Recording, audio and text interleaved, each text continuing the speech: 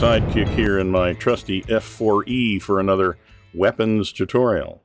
Today is the second part of the tutorial on high drag bombs. We already went through a way of using high drag bombs in direct mode. Today, we're going to look at using them in laydown mode. So I'm going to go through this in a way similar to what I've done before. I'm going to go through how to do it, and then I'll go back and start again and explain why it works this way. Uh, and also why um, you would use this method instead of the method of using direct mode. Now, by the way, the basic answer to the first question is that this is the method you would want to use when you have to use a full low-level ingress to the target. Um, the direct method um, assumed that you could get up a little high and see the target and then make a shallow dive. This is going to assume that you have to stay low during the whole approach to the target. Now, on this run, I'm going to show you how it works, and I am going to make it a bit easier on myself by assuming that my low-level ingress is only necessary for, say, the last few nautical miles. In truth, in, let's say, a real Cold War scenario, that might not be realistic. You might need to stay low for your entire uh, transit to the target. Um, we'll talk about what would be realistic and how to practice that in DCS, but for now, uh, let's just get the basics right. So here we are, uh, just getting lined up on a target for a run. Now you can see that I am really trying to find the target, those white buildings.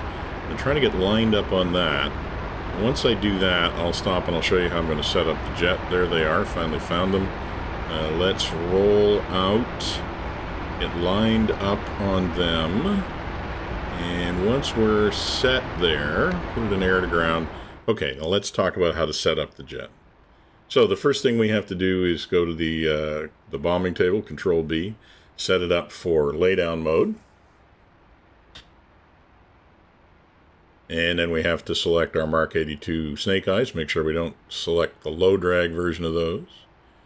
Our ingress speed is going to be 500 knots. And our altitude is going to be 500 feet.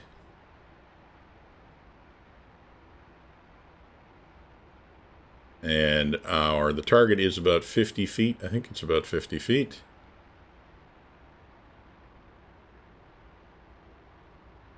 And um, let's set the IP range in feet.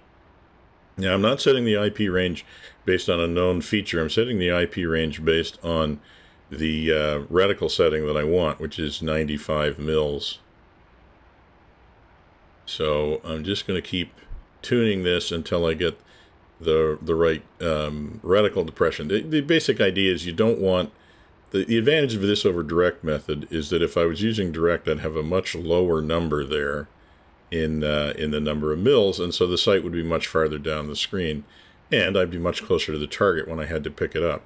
This way, I can pick up the target at a greater distance and then uh, pickle and hold. Now, let's just make sure we get everything set up correctly here. Uh, we do have the three pylons selected. I haven't put master arm on yet. Do that in a sec once we get restarted. Uh, we're using bombs and we're in laydown or L mode. I'm using salvo setting and I'm just putting a little bit of a delay on them. And I've also got the uh, the uh, HSI set to follow the nav computer, which is going to be important. And we're in air to ground, and uh, I said I wanted 95 degree or 95 mils on the reticle. So I think we have the jet set up. So let's continue the run in now. So now again, the trick is going to be trying to stay lined up on that target as we ingress. All right, let's get started. So here we go again. Now, what I want is for that to be my... Okay, turn point. That's what I was waiting for. So, Jester's got it set as the turn point. So now my HSI needle should be centered if I'm on the target, and I am on the target, and I am centered. So now even when I lose sight of the target, I can just fly the needle. That's what I wanted to do, is confirm that the needle was good. You can't always assume that your INS is accurate, unfortunate, in the F4E, but at this point we can, uh, we can believe it. So now I'm just watching the HSI, I'm watching the altimeter, and I'm watching the uh, airspeed indicator a little. Now I'm watching the HSI a lot because I need to keep the needle in the middle, but I also need to keep the wings level, um, and uh, or the nose level, I should say. And I really need to keep the altitude uh, at or close to 500 feet while also keeping the jet level, which is a little bit of a trick. And then I have to not forget to see the target coming, by the way. And when the pickle is over it, the pipper's over it, I pickle and hold. Bombs go when the computer tells them to.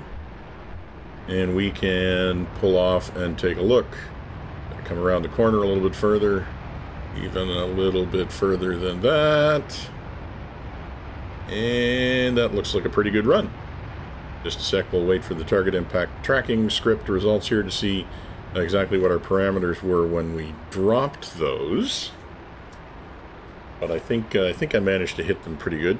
Yeah, some pretty good parameters there. And really, it was a lot of flying the needles. Uh, I was really spending most of my time inside the cockpit, uh, which seems to be the key. Now, uh, so that was a good run. So let's go back to the start of this run and talk a little bit about how we got here. So I guess the first question is, what are we doing here a second time? I mean, I already showed um, how to do high drag bombing. Why am I showing two different ways of accomplishing the same mission just for extra options? Uh, not really. Uh, to see why, I think we need to consider the point of using high drag bombs, or the points of using high drag bombs because there's kind of different rationale. You know, basically use high drag bombs simply because you need to get close to your target.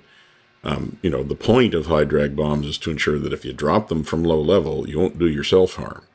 But why do we want to drop bombs from low level? And actually, I think there's a couple of different reasons we might have, and it drives very different mission scenarios. The first reason would be accuracy, or maybe more to the point, limiting inaccuracy. Uh, and this, I think, is what really drove the widespread use of so called snake and nape in close air support missions in Vietnam. The fact of the matter was that the average U.S. pilot simply wasn't accurate enough to use dive bombing delivery to give troops on the ground confidence in letting them use this method, at least not in the troops near vicinity. I mean, apparently studies were done that showed that the average accuracy of bomb drops in Vietnam was pretty awful, like several hundred feet, and that was the average. And believe me, if you're the guy on the ground, you are way more interested in the standard deviation than the average. I mean, if you know what I mean, like nobody wants to be within the three sigma range of an intended target when a pilot has a statistically bad day, right? In other words, uh, there was a strong desire to make sure that even if the pilot missed, they didn't. Uh, they did not miss by more than a certain amount.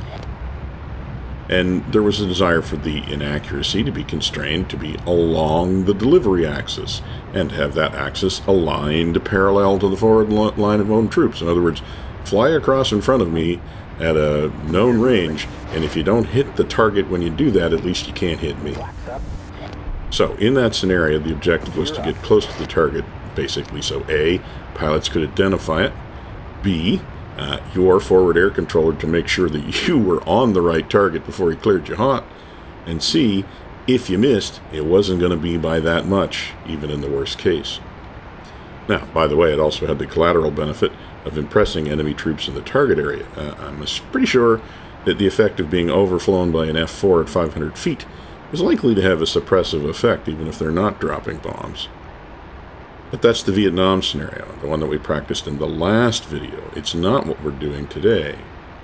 Today we're practicing what I would call the Cold War scenario. In this mode, we assume, first of all, that the target is fairly large and fairly obvious, and that it's not a danger close scenario. We also assume that the target location is well known and has been provided to us ahead of time on the tarmac. On the other hand, we can expect a fully layered integrated air defense system, which means that we really do want to avoid detection for as long as possible, which means operating at low level, even well back from the target, in order to avoid being illuminated by a search radar, or if we're doing a deep strike mission, to avoid being intercepted by air defenses between us and the target. So in this case, we have to fly low, not to get close to the target, but to stay below the detection horizon of the enemy air defenses. This different rationale drives a very different approach. The limitation of this approach, as we saw in the last run, by the way, is that lining up on the target uh, from any distance while you're only 500 feet above the ground is not at all an easy problem to solve, particularly if you don't have a HUD and you have an INS that drifts. And so we're back where we started this run and going through exactly the same problem, trying to get lined up on the target. Now, this means I'm higher than I would really want to be for a full low-level ingress. But I need to be able to confirm uh, that my INS is accurate. Now, I could do this without confirming that. I could have just flown this um, and just trusted that I'd get the INS right. But like I said, that's a little bit of a high-stakes roll uh, in the F4, especially if you've been flying for a while. So anyhow, we're basically doing we're doing the same run we did last time, just so you can see it again. And again, I'm watching the needles. I'm really spending a lot of time watching the needles as well as get my master arm on. Uh, I'm watching my HSI particularly because I got to stay level and I got to keep the, the line in the middle. Uh, and I need to be easing my altitude down to 500, but not let the nose come down. Then I got to see the target. I see the target. I got to wait for the pipper to be on the target. Don't dive at the target when you see it. That's a real temptation. Hold it level, hold it level, hold it level, bombs go. And away we go. Just like last time. So, as I said, overall that was a pretty good drop. But, like I said, we cheated a little because we did a line um, at an altitude higher than 500 feet. So let's go take a look at another scenario where we're actually going to stay low the whole time. Okay, here we are, still in the range, out over the water, reasonably low, but we're going to stay get, get even lower. Our target is going to be an artillery battery that's on the right-hand side of the range. Now, we know where the artillery battery is. Say those are coordinates that were passed to us by, say, the ground forces uh, who've located it. Now, we also have smoke, uh, a smoke mark on the artillery. Let's say it's already been attacked by something, so hopefully there's a mark on the horizon. We don't have to have the smoke mark, but I think in this case with a small target hidden in the woods, it's pretty much essential for us to be able to use that for final alignment. If your target was big and easy to identify from low level, um, uh, from some distance, then you could probably do it just from uh, just from the map mark. But we're going to use both just so we can make sure that we get close. Now I'm looking at my ADI and my HSI, my two needles, trying to uh, figure out when I should be lined up. And once I should be lined up, I'll start looking for the smoke on the horizon to confirm that my nav system is taking me to the right place. And it should be right about there, and I think I see where I'm supposed to be going, so I'm dropping into air-to-ground mode. And I'm getting low, and now I'm actually just doing the same old thing. I'm flying the needles. They need to get to 500 knots, 500 feet, level flight, aimed at the target. As I get closer to the target, I'm hoping to be able to actually identify the vehicles on the ground so that I can uh, line up on them rather than just using uh, my uh, needles and, and using the smoke mark. And again, like I said, if I could identify these things farther away, uh, then I wouldn't need the smoke. I might even have been able to do it without the smoke, but it just made it easier in this case. And then once I see the vehicles coming up, I just need to figure out where to pickle to start dropping bombs across this artillery battery. Right about there. Now, unfortunately, I, I, I, got a little target fixated. I dived on the target a little bit, lost some altitude. That might affect the accuracy of the bombs. But I don't think it's going to be too bad. Now, you can assume a target like this, it wouldn't just be me, probably be a two-ship or a four-ship, really trying to plaster this artillery battery. But even as it is, I think we did a pretty good job. So, that's a way of doing uh, high drag bombing uh, from low level, from a complete low level ingress pass, as opposed to being able to pop up and identify your target. I uh, hope you enjoyed that video, and for now, this is going to be Sidekick, signing off.